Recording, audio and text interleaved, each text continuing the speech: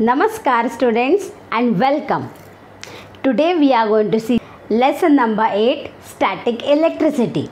Before we begin with this lesson children, first thing is we all know about electricity. What is this static electricity?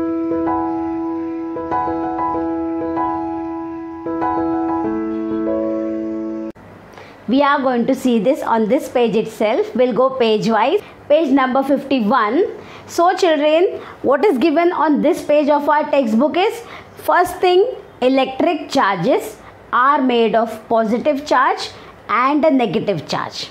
When we talk about an electric charge it is having positive charges and negative charges also.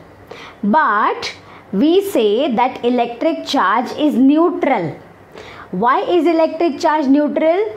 Because the number of positive charges and the number of negative charges are the same.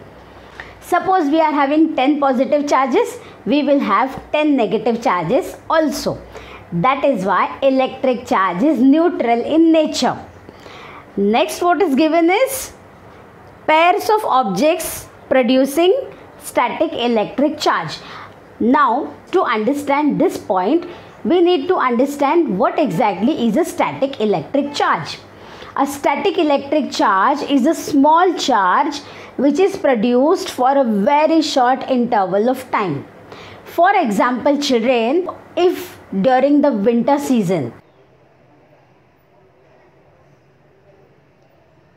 you are wearing woolen clothes and then when you try to remove those woolen clothes you might hear a crackling sound the hair of your skin might get attracted to the wool have you experienced it anytime children that is one very good example of static electric charge because of rubbing because of friction between the hair and woolen cloth there was a little electric charge produced this static electric charge was the beginning for the invention of electricity later on. That is why we should know what is static electric charge. Static electric charge is a weak charge. It is produced by rubbing two things because of friction. Now the question is are all two objects producing static electric charge on rubbing? The answer is no all objects do not produce static electric charge on rubbing. Only a few pairs of objects. I have given only two here.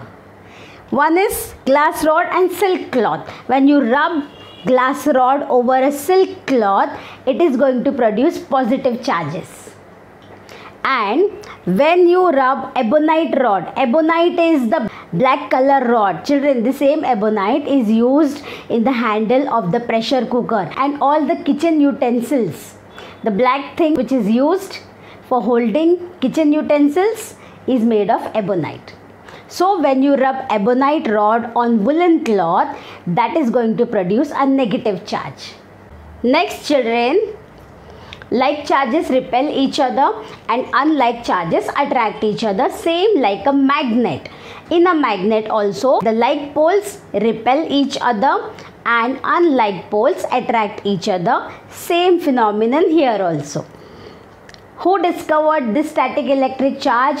The scientist whose name was Benjamin Franklin. There's a story behind this. Benjamin Franklin was flying a kite with his son during the evening. The weather was not so good, it was thundering and lightning, and the wire was made of metal. So, what happened? All of a sudden, he got a shock, and then he wondered from where did this shock come and this is how Benjamin Franklin discovered electricity, static electricity. Now let us continue with page number 52 children. On page number 52, what is given? What is the origin of an electric charge? How the electric charges are developed? How exactly? Yes, we also want to know. We know that there is static electric charge it is produced by rubbing. It is a weak charge. It remains on the objects for a very few seconds. Electricity is much more stronger than static electricity children. But how are electric charges produced? We know there are positive charges, they are called protons, children, and there are negative charges, they are called electrons. So, there are equal number of protons and equal number of electrons in an atom, in a substance, in any object. Now, when you rub the objects, because of friction, the charges get disturbed and some charges move away.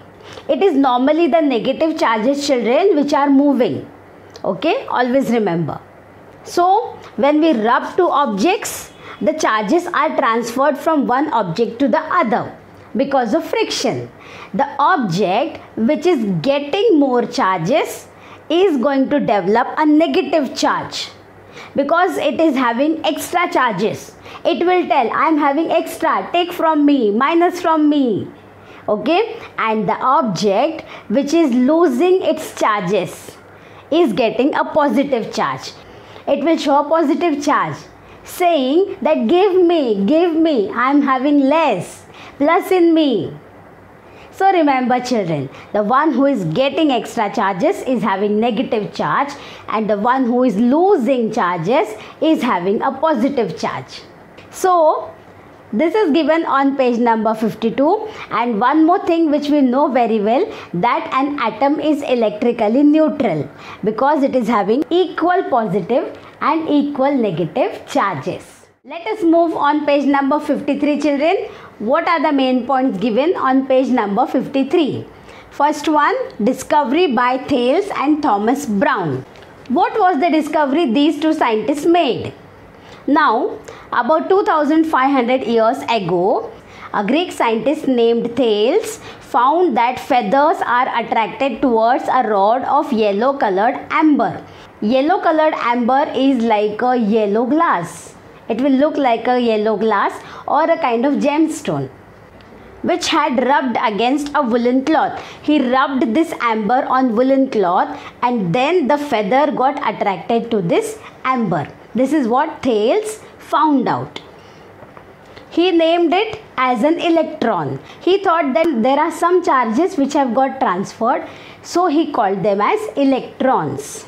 And after that, electricity name was given by Thomas Browne in 1646. After that, children, there is one term given as frictional electricity frictional electricity or static electricity. The other name for static electricity is frictional electricity because it is produced due to friction. We have also seen that it is a weak charge and because it is a weak charge we have to perform these experiments only in dry conditions because if there is moisture the moisture is going to absorb those little weak charges so we won't be able to get results and we also know that static electric charge remains on the objects for a very short period of time. Now, one more thing is given in the end that repulsion is a sure test for identifying an electrically charged object. Yes, why? Because when the two objects are getting attracted to each other, one can be charged and the other one can be uncharged.